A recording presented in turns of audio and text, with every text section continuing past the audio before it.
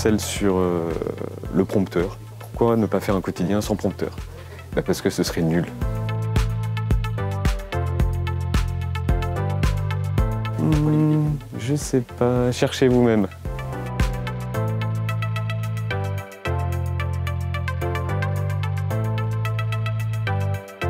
La personne qui m'avait donné envie de faire du journalisme, c'est Christine O'Krent.